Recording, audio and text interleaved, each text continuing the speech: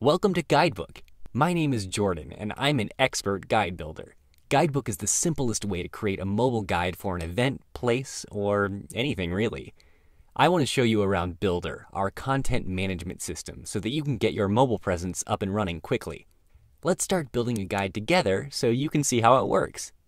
When I first start a new guide, Builder shows me some options for different templates to choose from. There are all sorts of guide templates, and our library is growing all the time. Builder will anticipate the information I'm going to put in my guide and save me a lot of time. Today I'm going to build a guide for a conference. First I'll click Event Guide to see the event themed templates. Then I'll choose Conference and Trade Show as my template. Now I'm straight into building my guide.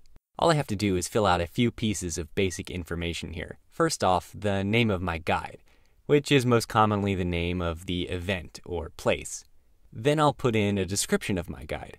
People use this area to include a welcome letter or helpful information about using the guide. Now I choose my date and time zone, and I'm ready to give my guide some personality. The next step is where I include an icon for my guide and a cover image. This is a great chance to include any branding elements you've created, or just have some fun with your guide's look and feel. I'll put in a location for my guide to give people an idea of where they'll be headed.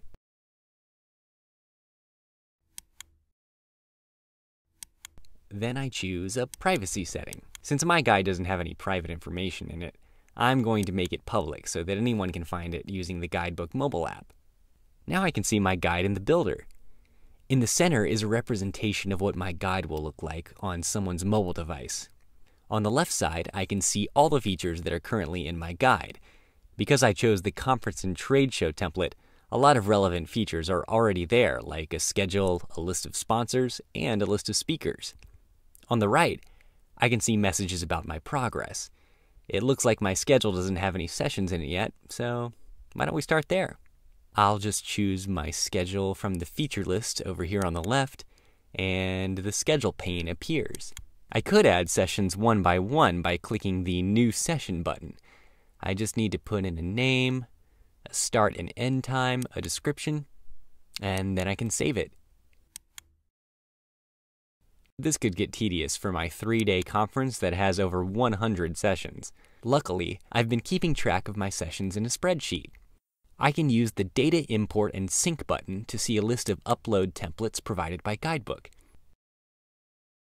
I've already formatted my schedule information into the template using Excel as you can see here. Now I'll just select the file on the import screen and click Import Data.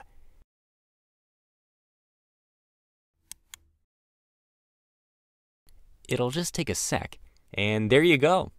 All my sessions have populated the schedule. The other essential guide feature you'll want to understand is the custom list. There are several custom lists in this guide already. The sponsors, exhibitors, and speakers features are all actually custom lists, just with different names and icons, hence why we call it custom list. But I'm going to create a new list because I want a list in my guide of all the restaurants near the convention center where the event is being held.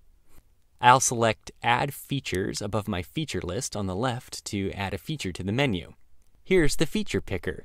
This is all the cool stuff you can add to your guide.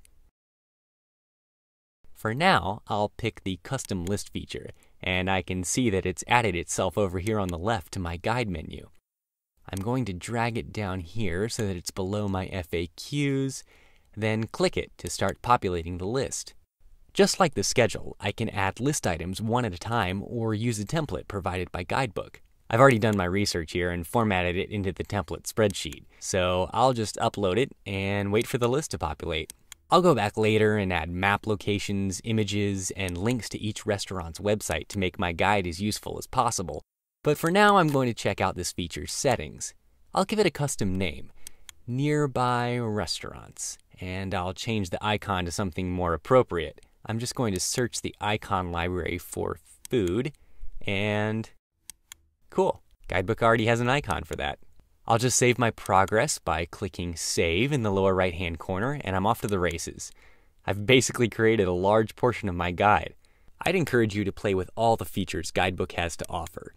You can attach surveys, add networking features like private messaging, and even create banner ads for any sponsors you might have. Some features require an upgrade in order to publish the guide, but luckily I can do that in Builder as well.